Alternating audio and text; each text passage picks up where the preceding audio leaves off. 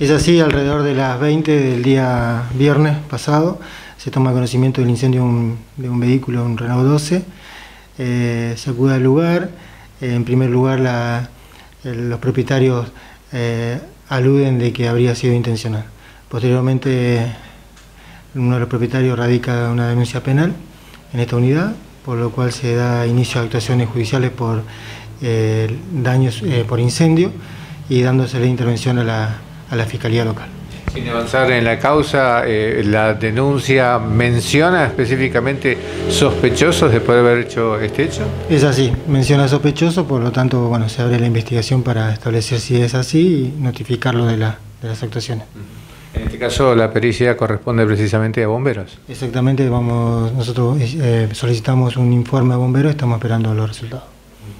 Eh, le consulto también sobre la realización de operativos. Eh, durante el fin de semana ha habido muchos puntos en la ciudad, tanto en el centro como también hacia la zona de las colonias, en donde, bueno, por aplicación de, este, esta nueva competencia que tiene eh, policía, se han registrado vehículos. Es así, ya hace dos semanas aproximadamente que venimos trabajando luego de un convenio que se firmó entre municipio y policía para realizar de parte de policía las, las multas. Eh, hemos estado haciendo operativos en distintos puntos de la localidad con resultados eh, positivos, secuestrándose vehículos y motocicletas eh, por, por diferentes, diferentes faltas. ¿Ha habido situaciones también de ciudadanos que han eludido o intentado eludir el control?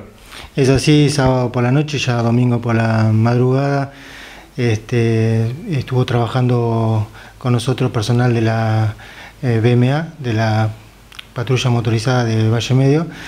Este, y en uno de esos operativos que realizaban ellos, eh, unas personas eh, evadieron los controles, por lo tanto se debió eh, realizar actuaciones por resistencia a la autoridad. presumo que argumentos de todo tipo han escuchado, ¿no? Respecto a ciudadanos que no llevan consigo la documentación. Sí, sí, muchos tienen algunas excusas por no, por no tener la documentación en ese momento, pero bueno, se está aplicando lo, lo que es la, eh, la infracción y después posteriormente podrán realizar su descargo. Es decir, que en todo caso, aún en el mejor de, de, los argumentos, la contratación se hace y luego ante el juez de faltas se establece si efectivamente tiene buena fe. Exactamente. Vamos a recordar cuál es la documentación básica que deben portar conductores de motovehículos y también de autos. Y eh, carnet de conducir, seguro del vehículo y la documentación del vehículo.